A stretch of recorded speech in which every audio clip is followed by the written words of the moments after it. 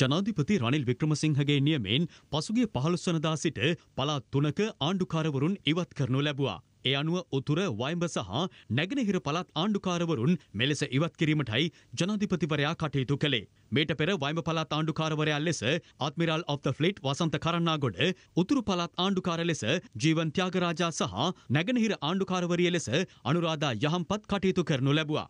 ජනාධිපතිවරයා විසින් මෙම ආණ්ඩුකාරවරුන් තිදෙනා ඉවත් කිරීමෙන් අනතුරුව අද පෙරවරුවේ නව ආණ්ඩුකාරවරුන් තිදෙනෙකු අදාළ පළත් සඳහා පත් කරනු ලැබුවා. ජනාධිපති රනිල් වික්‍රමසිංහ විසින් මෙම පත්කිරීම් සිදු කළා. ඒ අනුව වයිඹ පළාත් ආණ්ඩුකාරවරයා ලෙස ලක්ෂ්මන් යාප අබේවර්ධන පත් කර තිබෙනවා.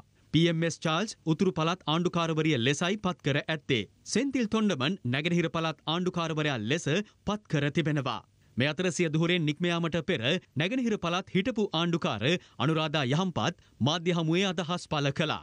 අපිට දේශපාලනික නූනු නිසා අපේ වැඩ සාර්ථකව කරගන්න පුළුවන් වූවා හා සේම ඒ දේශපාලන අධිකාරීන් යම් යම් බලපෑම් ලැබු ආවා අපි දේශපාලනික වුණා නම් අපිට ඒ දායකත්වය සහ අපේ ඒ ව්‍යාපෘති අපිට ලබා දෙන්නට පුළුවන් ඒ ඒ දේශපාලන අයට පමණයි. නමුත් අපි විශ්වාස කරනවා අපි දේශපාලනික පත්වීම් වුණත් අපි දායකත්වය ලබා දෙනකොට අපි හැමෝටම එක හා සමාන වන ලෙස දේශපාලනික නොවි දායකත්වය ලබා දෙනවා නම් අපිට වඩාත් සාර්ථක වඩාත් හොඳ සේවයක් කරන්නට පුළුවන් වුණා කියලා මම මේ ඉවත් වෙලා යන මොහොතේ මට ලැබෙන ප්‍රතිචාර වලින් මට තේරෙනවා ඒ අපි ගත්ත ක්‍රියාමාර්ගය පළාත තුළ සාර්ථක වෙලා තියෙනවා කියලා ඒකම සමහරක් අවස්ථාවල් වල දේශපාලඥයන්ට ප්‍රශ්නයක් වුණා. නමුත් මම ඇත්තටම ඒ ගැන කනගාටු වෙන්නේ නැහැ. මගේ පත්වීම දේශපාලනිකයි. නමුත් මම දේශපාලන අධිකාරියෙන් ආපු කෙනෙක් නෙමෙයි.